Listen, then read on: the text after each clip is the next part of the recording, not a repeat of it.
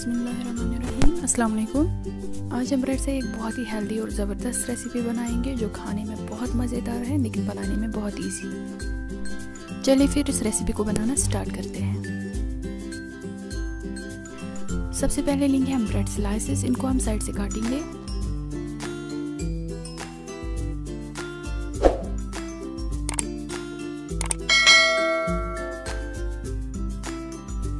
Side काटने के बाद अब हम इनको एक बाउल में ऐड करेंगे और साथ ही कुछ सब्ज़ियाँ भी शामिल करेंगे।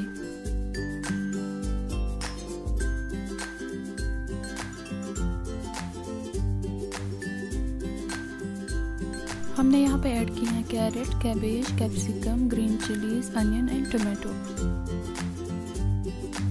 साथ ही हम इसमें ऐड करेंगे नमक और ब्लैक पेपर। नमक आप अपने टेस्ट के अकॉर्डिंग ही शामिल कीजिए और फिर हम इन सभी चीज़ों को मिलाएँगे और एक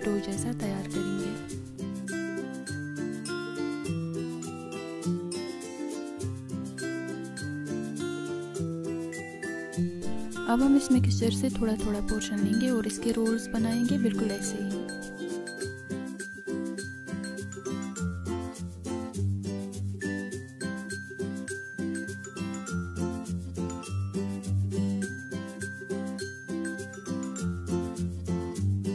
रोल्स तैयार हो चुके हैं, अब हम इनमें ऐड करेंगे चीज़। चीज़ बिल्कुल ऑप्शनल है। आप इस चीज़ के बगैर भी बना सकते हैं। यहाँ पे हम रोल के बीच में चीज़ ऐड करेंगे। इसमें बहुत ही कम चीज़ लगती है। हमने यहाँ पे खाली एक स्लाइस का इस्तेमाल किया है।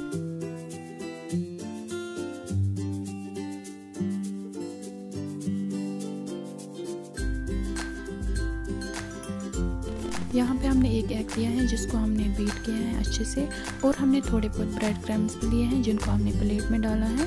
हम पहले रोल को एग मिक्सचर में डालेंगे और फिर ब्रेड क्रम्स से कोट करेंगे। हमें हल्के हाथों से थोड़ा प्रेस करना है ताकि ये ब्रेड क्रम्स से अच्छी तरह से कवर हो जाए।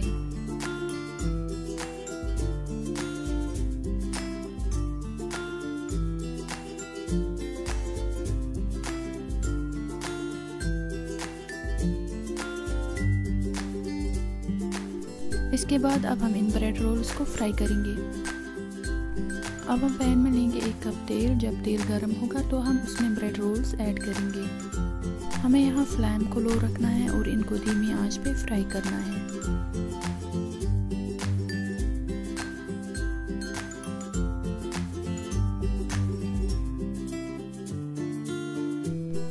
ये देखिए, ये फ्राई हो चुके हैं। अब हम एक एक करके सारे रोल्स को फ्राई करेंगे। ये देखिए रोल्स तैयार हो चुके हैं। अंदर से जो चीज़ है, वो मेल्ट हो चुकी है। बहुत ही ज़बरदस्त रेसिपी है, बहुत ही टेस्टी रेसिपी है। आप ज़रूर इसको एक बार घर में ट्राई कीजिए।